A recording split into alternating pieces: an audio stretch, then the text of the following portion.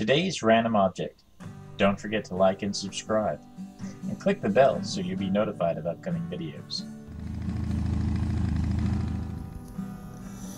Blue whale vocalizations are among the loudest and lowest frequency sounds made by any animal.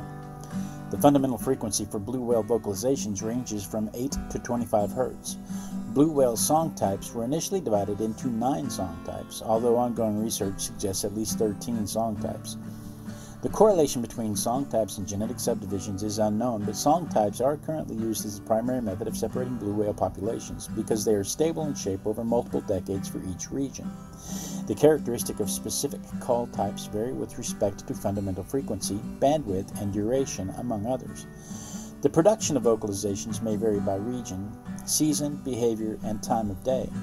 The purpose of vocalization is unknown, but songs appear to be produced only by males have some kind of sexually related purpose, while D calls and other non repeating calls appear to be produced during feeding by both sexes.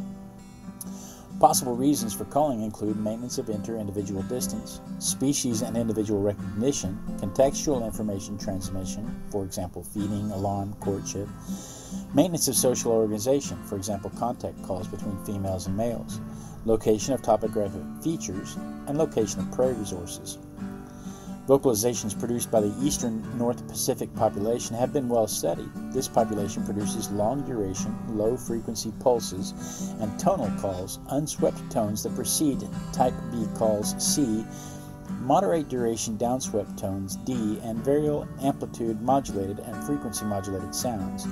A and B calls are often produced in repeating co occurring sequences as sung only by males, suggesting a reproductive function. D calls are produced by both sexes during social interactions while foraging and may be considered multipurpose contact calls. At least seven blue whale song types have been shifting linearly downward in tonal frequency over time, though at different rates. The eastern North Pacific whale tonal frequency is 31% lower than it was in early 1960s. The frequency of pygmy blue whales in the Antarctic has steadily decreased at a rate of a few tenths of hertz per year since 2002. One hypothesis is that as blue whale populations recover from whaling, this is increasing sexual selection pressure, i.e., lower frequency indicates larger body size. Although, given the difficulties in measuring length from living whales, there is little evidence for changes in body size since whaling ended.